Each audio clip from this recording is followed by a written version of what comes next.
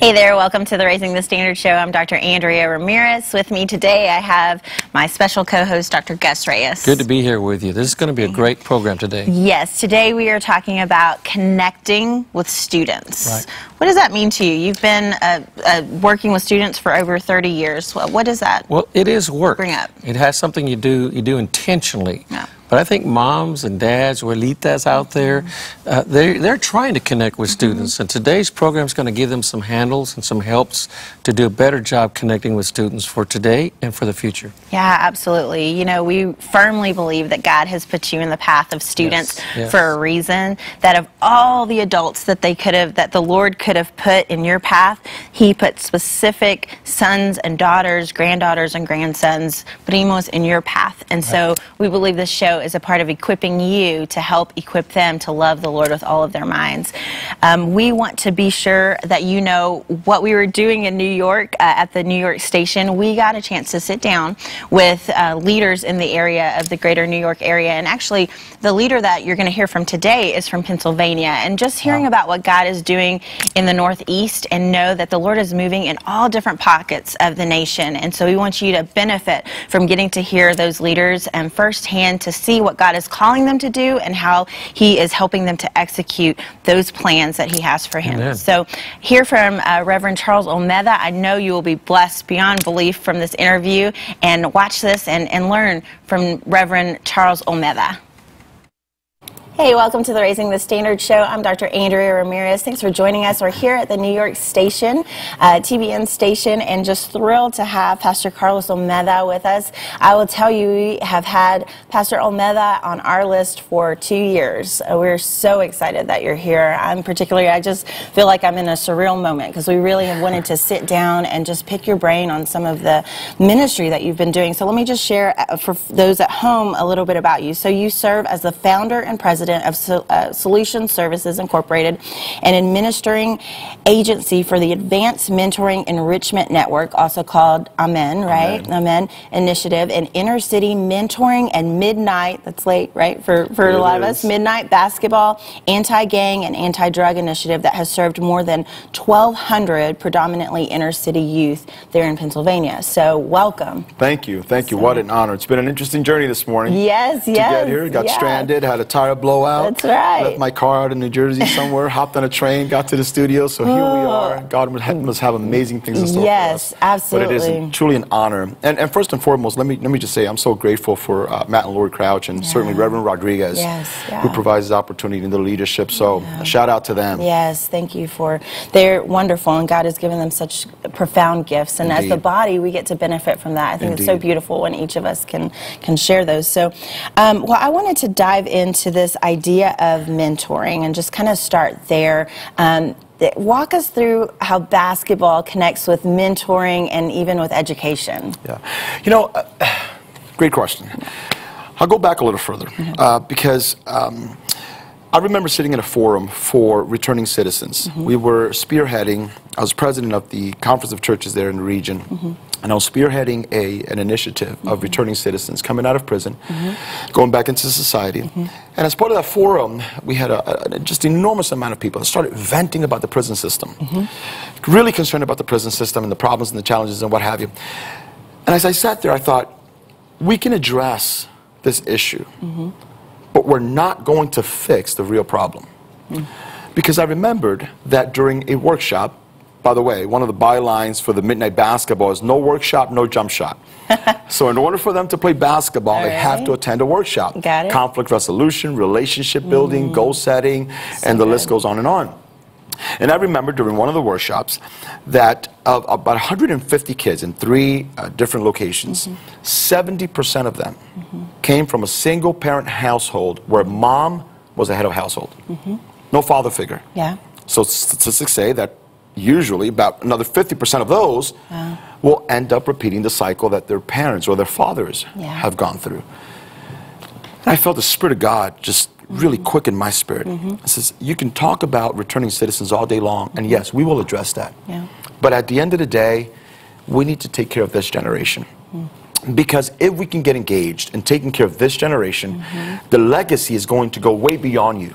It doesn't matter what you do while you're still alive, though it's important. at the end of the day, I'm just setting a foundation so that it can impact my daughters, my daughters' children, and so on and so forth. yeah. Uh, and, and then years to come, people can look back at our region and say, the reason we do not have the same statistics we had 20 years ago, 30, 40 years ago, was because people started to do something. Yeah. about educating our kids. That's right. So that to me is extremely, extremely important. So to your So, question, I'm sorry, so yeah, how, how does, how does that link in? Link in? But I do want to said, just well, mention because you just brought up such a powerful. So mentoring has to do with legacy. It's it's Agreed, more. yes. It's beyond just this lifetime. Mentoring needs to be focused on what are we leaving our kids, right? H- Hence, hence why we started doing this as something outside of our ministry. Although our ministry is involved, Yeah. this is not about personal kingdom building. I think this whole God. mindset of, Yeah. uh, you and I were talking earlier about yeah. just living in the silo, Yeah. we, we have to go beyond that mindset. Yeah. And uh, I, I- I like to call it the ecclesiastical um, partnership cohesiveness, Mm-hmm. right? So in layman's terms, is how, how, does, how does a church Mm-hmm. serve as a leading institution? I think Tony Campolo in his book, uh, Re- uh, Revolution and Renewal. Yeah. coined that. Uh, a leading institution and serve as uh, this hub that can partner different entities from our community to work toward mentoring our, our, our younger generation, right? Yeah. Educating, engaging, and empowering a rising generation. Yeah. So when we talk about institutions, we're talking about school district, universities, law enforcement, government, and the church. Five that. entities Yeah. Working together to educate, engage, and empower our rising generation. So what blocks that from happening? What what blocks those those five coming together and the church serving as a hub? I, I think two things. I think for the most part, uh, well, I, I don't want to generalize it, but for me, Yeah. the environment that I grew up in, Yeah. um, we we uh, we did not get involved. It, it, it was church. I remember. I still remember vividly. My fingers holding on to a chain link fence. Yeah. Wanting to try out for softball for little league, Okay. and my parents saying you can't do it. And you can't do it because it's going to coincide. It's going to It's co- conflict conflict. with church. We've got church on practice days, on game days. Something didn't sit right. And, and I don't blame them for that. They, they, Right. they were doing Sure, what they, they knew trying, to do. right, yeah. Um, but now that I'm that I'm older and the Spirit of God's been working with me and, and looking at my daughters and looking at, at our generation, Yeah. I'm thinking we've got to go beyond that mindset. We have to go beyond having church on Yeah. Wednesdays and Sundays Yeah. and get out into the marketplace and collaborate with other entities for Mm-hmm. the sake of, and I, I won't get tired of saying this, of educating, engaging, and empowering Yep. a rising generation. That's right. Yeah, there is this kind of trend, you know, recently it's been coined the, the Benedict option um, of isolating ourselves from public life, whether Right, that be right. the government or schools or whatever that looks like. And so it's interesting that you're, you're talking about the church being the hub of not being about isolation as much as, uh, you know, I've heard it termed, um, my pastor Brian Lightsey says, um, insulation. Mm. No, no matter where you're at, that you are being in the world but not of the world. So that you, there's an insulation of being who Christ has created you to be, salt, light. Agreed. But you're still within that public sphere because that's what we're called to do. And you can't you can't be that salt and life if you're light if you're not there. So and of course reverend sam rodriguez has this powerful message on his heart of being light Being and light. what that looks like. And so yeah let's let's talk about silos. So what what can churches do that would meet would be uh, purposeful in creating and not creating and avoiding silos but working with this ecclesiast uh, what did you call it? The ecclesial Ecclesiastical partnership cohesiveness. yeah, I love that right? ecclesiastical partnership cohesiveness. So, what does that? What what needs to be in place for that to happen? Number one, we must admit that it goes beyond us. Mm. It's not about me. Yeah, You know, it, it's it's we have to come against the whiffum mentality. What's in it for me? Mm. yeah. The church suffers from the whiffum mentality. I love it. The whiff yeah, mentality. whiffum mentality. What's in it for me? We've got to go beyond that. And number two, we That's have to be fully present. Yeah, In a in an age of um, so much social media, Mm-hmm.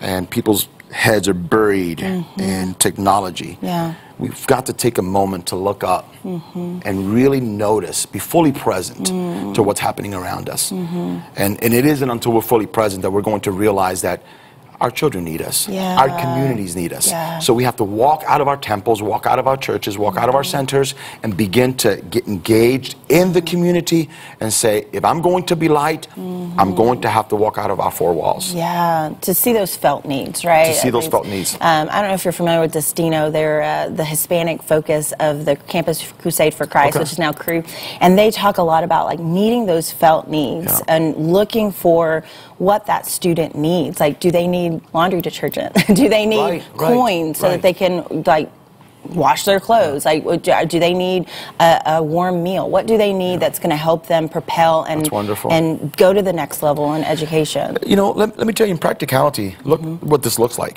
Every Friday night, we have dozens upon dozens of volunteers Mm-hmm. from about 9.30 at night to midnight Mm. serving uh, uh, our young people between the ages of 12 to 18 years of age. Mm-hmm. We provide food every single Friday night. Mm. Three separate cities, uh, five different locations, is going now to eight locations this coming season.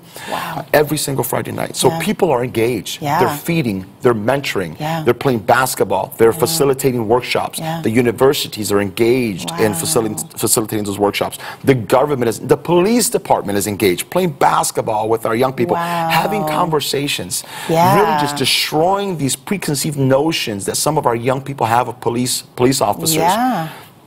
That to me is being fully present and being engaged in our community. So how do you get all those volunteers together? Do you have a separate meeting for them, or how does that? What does the funding look for to like for feeding that many people? Um, volunteers, uh, churches, and that's where the this this is where the church serves as the hub. Yeah. Uh, because it's not a third day worship, it, ca- it cannot be a third day worship center thing or Yeah. uh, uh, you know uh, this and that church. Yeah. It has to be a partnership. Yeah. We have to go across the board and say, let's work together Yeah.